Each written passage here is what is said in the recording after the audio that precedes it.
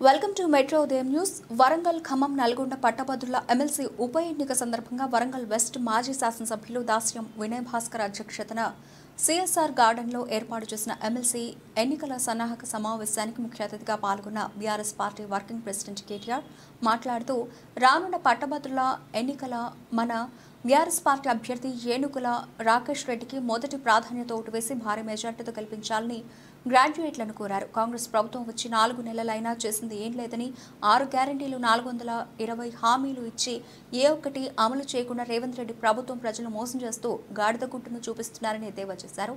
ఈ కార్యక్రమంలో మాజీ శాసనసభ్యులు ఎర్రబెల్లి దయాకర్ రావు తాటికొండ రాజయ్య ఆర్ఎస్ ప్రవీణ్ కుమార్ చర్ల ధర్మారెడ్డి నన్నపనేని నరేంద్ర బీఆర్ఎస్ ముఖ్య నాయకులు జిల్లా నాయకులు తదితరులు పాల్గొన్నారు. అని చెప్పి అలా ఇక్కడ ఉన్న మా రైతు బిడ్డలు నేను అడుగుతున్నాను ఇరవై ఒక్క వందల ఎనభై మూడు రూపాయల ఎంఎస్పి దొడ్డు బియ్యానికి ఉన్నది కదా. మరి నువ్వేమో మేనిఫెస్టోలో పెట్టిందేమో దొడ్డు బియ్యానికి దొడ్డు వడ్ల దొడ్డు బియ్యం వచ్చే వడ్లకు నేను ఎంఎస్పి ఇస్తా బోనస్ ఇస్తా అని పెడుతుంది. ఇరవై ఒక్క వందల ఎనభై మూడు దొడ్డు బియ్యం ఉన్నది దొడ్డు వడ్లకు ఉన్నది. అదే విధంగా సన్న బియ్యానికి మాత్రం ఇంకో ఇరవై రూపాయలు ఎక్కువ ఉన్నది. మేనిఫెస్టోలో రేవంత్ రెడ్డి పెట్టిండు. ఇరవై ఒకటి ఎనభై మూడు ప్లస్ ఐదు వందలు ఇరవై ఆరు వందల ఎనభై మూడు రూపాయలు ఇస్తా చెప్పాడు చెప్పిండు. మరి ఏం చెప్పిండు? క్యాబినెట్ వెళ్ళి బయటకు వచ్చి సన్నవడ్లకే ఇస్తా అని చెప్తా ఉన్నాడు. మరి మనం ఆలోచించాల్సిన అవసరం ఎన్నికలకు ముందేమో దొడ్డుబడ్లకు ఇస్తా అని అలా సన్నవడ్లకే ఇస్తా అంటే సన్నాయి నొక్కులు నొక్కే ఈ సన్నాసులకు నిలదీసేటోళ్ళు శాసన మండలిలో ఉండాలన్నా లేదా రైతు బిడ్డలుగా మీరు ఆలోచించాలని చెప్పి నేను కోరుతా రేపటి రోజున రేపటి రోజున ఎవరు ఉండాలి శాసన మండలిలో ఇట్లాంటి సమస్యలు వచ్చినప్పుడు అంటే మనం ఆలోచనతో ఓటేస్తే అట్లాంటి ఆలోచనతో కూడిన వ్యక్తులు వివేకంతో రేపటి రోజున మీ తరఫున గొంతు విప్పే వ్యక్తులు శాసన మండలిలో ఉంటే న్యాయం జరుగుతుంది.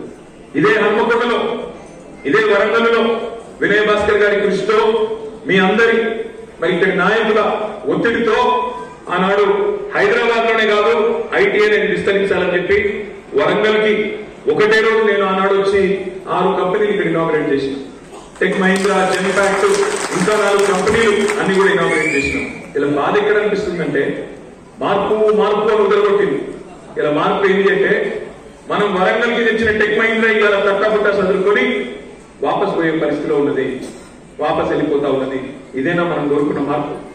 నిన్నటికి నిన్న నిన్నటికి నిన్న ఎంజీఎం ఆసుపత్రి ఉత్తర తెలంగాణ మొత్తానికి పెద్ద దిక్కుగా ఇక్కడ పేదలకు పెద్ద దిక్కుగా ఉన్న ఎంజీఎం ఆసుపత్రిలో ఈనాడు పేపర్లో వచ్చింది వార్త. మా పత్రికా మిత్రులందరికీ కూడా తెలుసు. నిన్న సాయంత్రం నాలుగున్నర నుంచి రాత్రి తొమ్మిదిన్నర గంటల దాకా ఎంజీఎం ఆసుపత్రిలో కరెంట్ లేదు ఐదు గంటలు కరెంట్ లేదు. నాలుగు జనరేటర్లు ఉంటే ఒక్కటి పనిచేయదు ఐదు గంటలు కరెంట్ ఉండదు. కరెంట్ పోవుడు ఇళ్ళలో పోతే పెద్ద ముచ్చట కాదు. కానీ బంద్ అయితే సరే ఇష్టంగా పట్టుకొని కాంగ్రెస్లో తెచ్చుకుంటూ కూర్చుంటాం. కానీ ఎంజీఎం హాస్పిటల్ అందులో ఇన్క్యుబేటర్లో ఉండే చిన్న పిల్లలు ఉంటారు ఇప్పుడే ఉండే ఇన్ఫెంట్స్ ఉంటారు నవజాత శిశువులు ఉంటారు. క్రిటికల్గా ఐసీయూలో ఉండే వెంటిలేటర్ల మీద ఉండే పేషెంట్లు ఉంటారు. ఐదు గంటలు కరెంట్ లేకపోతే ఎవరి ప్రాణమన్న పోతే అది మంచిదేనా? ఇదేనా మనం కోరుకున్న మార్పు? కంపెనీలు వెనక్కి హాస్పిటల్లో కరెంట్ ఉండకపోవడు. ఇదేనా మనం కోరుకున్న మార్పు? ఈ ముఖ్యమంత్రికి ఎంత విచక్షణ లేదు అంటే ఎంత తెలివి లేనోడంటే మీకు ఒక చిన్న ఉదాహరణ చెప్తా.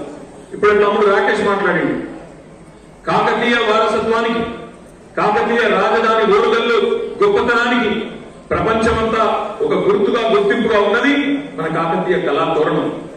అట్లాంటి కళాతోరణాన్ని పట్టుకొని చార్మినార్ను పట్టుకొని గోల్కొండ నవాబులు కట్టిన చార్మినార్ను పట్టుకొని ఇవి రెండు రాచరిక పోకడలకు సంకేతంగా ఉన్నాయి. కాబట్టి రాజముద్ర నుంచి తీసేస్తున్నా అని చెప్పి రేవంత్ రెడ్డి అసెంబ్లీలో చెప్తా ఉన్నాడు. చెప్పిండు సరే. చెప్పిండు చెప్పినాక మరుక్షణమే ఐదు నిమిషాలను ఏం చెప్పిండు తెలుసా? జయ జయ హే తెలంగాణ అనే పాటను రాష్ట్ర గీతంగా పెట్టామని చెప్పింది పాపం ఆయనకి ఎంత తెలివిలేనోడు అంటే ఇక్కడ తెలంగాణ ఉద్యమంలో ఉన్నాడు కాదు. మీ లెక్క మా లెక్క కొట్లాడినోడు కాదు.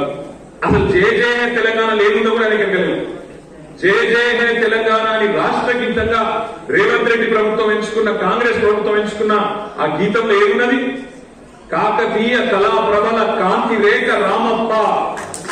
గోల్కొండ నవాబుల గొప్ప వెలుగే చార్మినార్ ఇంత తెలివి తక్కువ సన్నాసి అంటే ఈ ముఖ్యమంత్రి ఆయన పెట్టిన రాష్ట్ర గీతంలోనే చార్మినార్ ఉన్నది. కాకతీయుల గొప్పతనానికి ప్రతీకగా ఉన్న రామప్ప ఉన్నది కళాతోరణం ఉన్నది. కానీ అది రాజముద్రలో ఉండదు కదా మన మన కర్మగాలి మన ముఖ్యమంత్రి అయింది. ఇంత తెలివి తక్కువ అందుకే నేను మీ అందరికి విజ్ఞప్తి చేసేది. ఇట్లాంటి సన్నాసులకు బుద్ధి చెప్పాలి అంటే మనం వాళ్ళతో పోయి యుద్ధాలు చేయలేం గల్ల పట్టుకొని కొట్టలేం వాళ్ళతో పోయి బూతులు తిట్టలేము మీరు చేయవలసిందల్లా ఒకటే.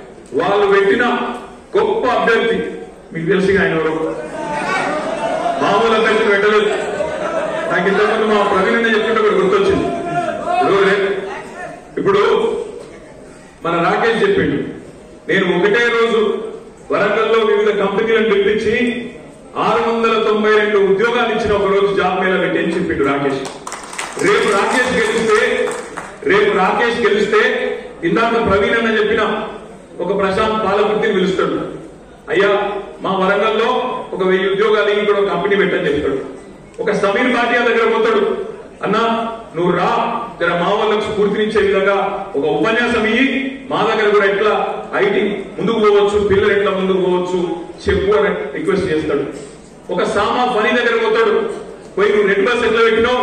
మా వాళ్ళు కూడా కొంత స్ఫూర్తినిచ్చే విధంగా వచ్చి మా వాళ్ళలో కూడా ఉత్సాహం నింపు అని చెప్పి వాళ్ళని పిలుచుకొస్తాడు రాకేష్ గెలిస్తే మరి మల్లన్న అంటే ఆయన గెలిస్తే ఎవరు పిలవాలని సెన్షన్ కూడా చేయదు ఆయన సీనియర్లను పిలవాలి. పిలుచుకొచ్చి మేము ఇక్కడ కూర్చోబెట్టాలి. ఆ చిల్లర కలిసి మీకు చెప్పాలి ఇట్లాంటి క్రిమినల్ రికార్డు ఉన్న వాళ్ళను రాజకీయాల్లో ముఖ్యంగా పట్టభద్రులు మీరు పట్టం కంటే దయచేసి ఆలోచించండి. ఇప్పటికే రాజకీయాలంటే గొప్ప అభిప్రాయం లేదు సమాజంలో. అట్లాంటిది ఇంకా ఇట్లాంటి వాళ్ళు వస్తే ఇట్లాంటి వాళ్ళు చట్టసభలో దూరితే ఎట్లుంటుందో మీరు ఆలోచించండి. మరి కేసీఆర్ గారికి అవకాశం వస్తే కౌన్సిల్కి ఎవరిని పంపిండు? మన వరంగల్ నుంచి ఒక విద్యావంతుడు ఒక తెలివితేటలున్న మేధావి ఇవాళ డిప్యూటీ చైర్మన్గా గౌరవనీయులు బండా ప్రకాష్ గారిని వరంగల్ నుంచి పంపిండు. ఒక పెద్ద మనిషి ఇరవై నాలుగేళ్ళుగా కేసీఆర్ గారితో ఉద్యమ సహచరుడుగా ఉన్న మధుసూనాచారి గారు భూపాలపల్లిలో దురదృష్టవశాత్తు స్వల్ప తేడాతో ఓటమి పాలైతే వారిని కౌన్సిల్కి పంపిండు. ఎట్లాంటి వారిని పంపిండు కేసీఆర్ కౌన్సిల్కి వరంగల్ నుంచి ఒక మాజీ మంత్రి సీనియర్ నాయకుడు పెద్దలు బసవరాజ్ సారయ్య గారిని కౌన్సిల్కి పంపిండు. ఒక యువకుడు ఉత్సాహవంతుడు పోచంపల్లి శ్రీనివాస్ రెడ్డిని పంపిండు.